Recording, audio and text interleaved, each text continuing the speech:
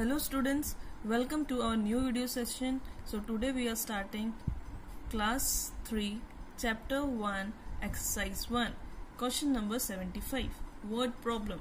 An insect has 6 legs. How many legs do 9 insects have? Solution. So number of legs of an insect equals to 6 legs. Number of legs for 9 insect.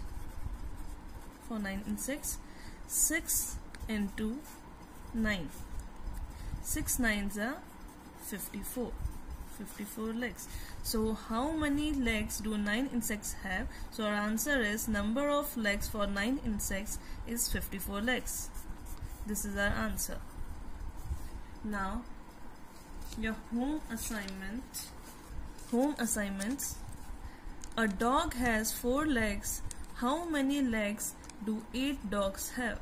Just solve this question and write the answer in the comment box. Thank you and have a nice day